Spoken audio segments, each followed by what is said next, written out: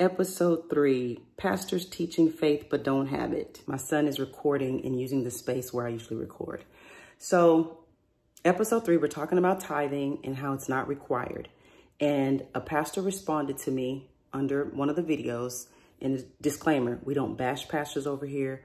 We don't bash churches. I speak about my experience and we don't go, go tip for tap for scriptures because that's powerless, that's useless, and I really don't care.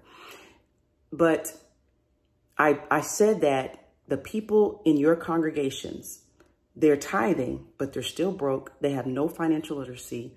They don't have savings. They're still in debt. They're living day to day, paycheck to paycheck, and they're struggling and trying and worried about paying tithes. And the comment that the pastor said was a scripture. I think it was 1 Corinthians 9, 14. He said, if you are, if you teach the gospel, you should be fed by the gospel. That is the most heartbreaking thing to me. I almost want to cry. The fact that I just said that there are people in the pews that are struggling to pay tithes because they're scared and they're afraid and they're not even required to. They're living paycheck day to day, don't know what to do on extension plans, on payment plans, worried and living in fear, anxiety, and all the things behind doing something they're not required to do. And the pastor's response is, well, we supposed to get paid. And some of you are not even preaching the gospel, number one. You're not even preaching the good news. Some of you are not even preaching 10% worth of word to be demanding something that's not required. Not only that, when you say, I'm preaching the gospel, you're talking about the death, burial, resurrection of Jesus Christ. Okay, you said that. We, we know that. So just because you say that every Sunday, you're required to be paid. And just because you say you preach the gospel, you should get paid. Okay, that doesn't mean that somebody is required and you can demand 10% of their income when it's not required. That's the whole point. If you're preaching and doing what you need to do, people will give. It is a principle. You see it on TikTok when those people go live and they're telling them how to do skincare or they're telling their followers and the people that are watching them how to fix this meal. When people like it and it's good news to them, they're going to buy them a hat. They're going to put those little hats on their head. They're going to put the sunglasses and they're going to send them flowers and do all the things. Even on Facebook, you can get people stars and it, you know, translates into money. So if people aren't giving and you have to fuss and yell every week, maybe you're not teaching. Maybe you're not giving them the word because people will give where they're fed. People do it all the time. And it's the fact that you're thinking about yourself. When somebody tells you the plight of people, the first thing you do is think about yourself. You're proving my point. If you're not getting paid, then you're not doing your job. Isn't that how it works in the world, period? If you don't do your job, you don't get paid. And when was the last time you asked your congregation, how are y'all doing financially? Some, I'm not saying all, some really don't care. All they care about is that they get paid. I care about people. That's why I'm not scared to talk about anybody or, or address anybody because I care about people. I don't care about your ego. I don't care about your title. I don't care how long you've been doing it. I don't care how you say man of God. I don't care about any of that. It hurts me to my core to see people struggling and in lack, especially our people, because of lack of knowledge that most leaders can't even give the people. All you care about is are they giving their tithes and their offering? Ask the people, how are you all doing financially?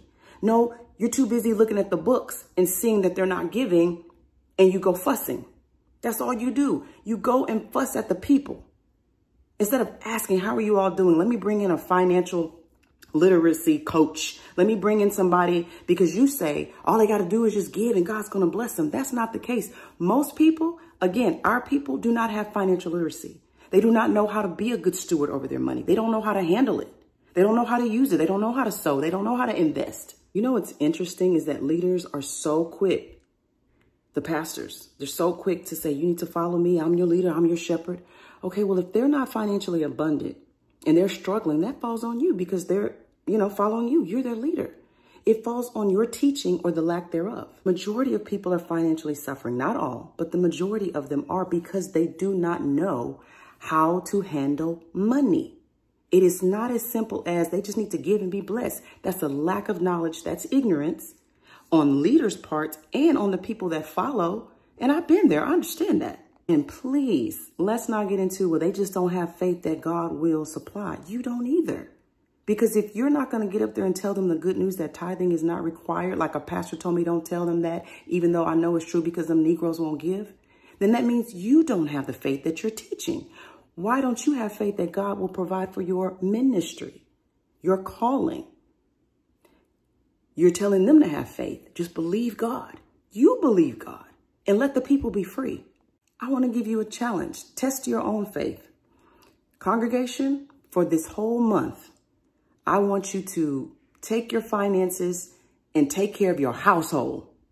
That extension plan, instead of tithing, since it's not required, and God just tells you to be a cheerful giver and give as you decided in your heart, don't worry about giving here. Got a text, sorry. Don't worry about giving here. Give, make sure your household is taken care of. And if it is, find somebody on your street for a whole month, 30 days. Y'all always want $30 for a 30 day seed and 30, oh, for 30 days.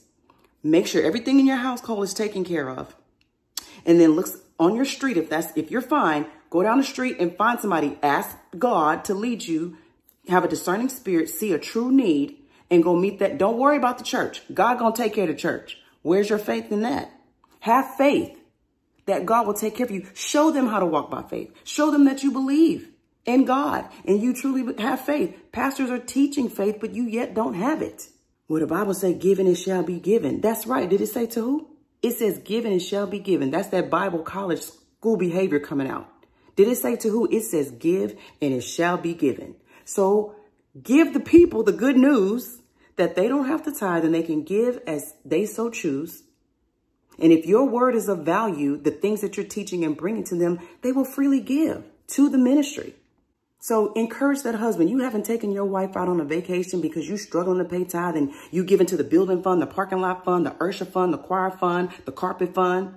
Every six weeks, we got a different fund. So take your wife on a vacation. Take care of your household. Start a savings account that you've never started in your entire life. Pay off that debt that's just been lingering. Some of you leaders and pastors are squirming right now because you are starting to see that I really don't have the faith that I think I have. They're realizing that they really don't have the faith that they've been teaching. And this right here is a joke. Well, they need to give where they're fed. They don't need to be given everywhere else. Again, some of you are not feeding the people. You're not. They wouldn't be in the situations that they're in if you truly were. But give where they're fed. That online church and all that stuff don't work. That was such a joke in the face of people when that virus hit in 2020. I thought y'all said that going to church online, when people would watch, because I'm from Houston, watching that Joel Osteen, y'all need to be in the house of the Lord. Okay, then all y'all hopped online. All y'all hopped online. Then it was okay. Then God was saying it's okay because of this governmental situation that's going on. Then it was okay for people to give online. It was okay for them to get a word online. And pastors have to know that people are going online to other churches and getting the words that they need even though they come to your building because they feel like they're not getting fed. I know at least five of them. And they go to this church online, this church online, and even will give. But then they come there because that's grandma's church. That's the only church they've known. They've been a member, but they're not getting fed. Several people feel like that, that I know personally, but I know it's all across the world. They go to these buildings, they're not getting fed, but then they'll go consistently online.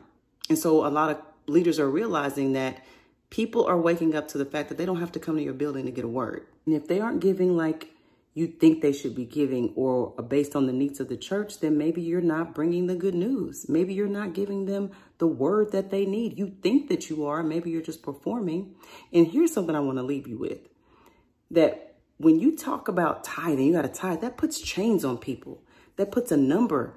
And people, if, you know, they have these chains on them, they can only give so much. But if you free the people, and you let them know you can give as much as you want. You can give any amount that you want. They're free. When somebody, just picture it. When somebody's hands are free from the chains, you'll probably get more. Also, lastly, will a man rob God?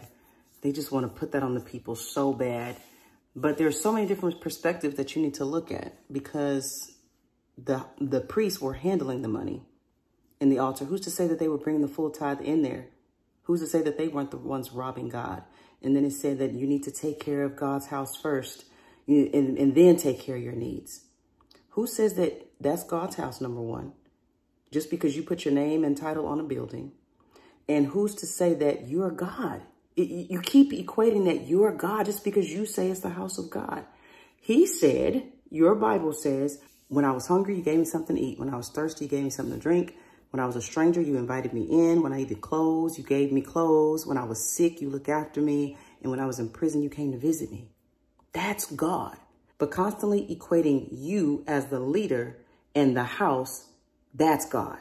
When we don't know what y'all are doing with the money because you don't tell us, unless you tell us. But to equate you as God in the house of God, even though you may not say so, but the demands of people's finances to be in that house, people aren't falling for that anymore. People are waking up.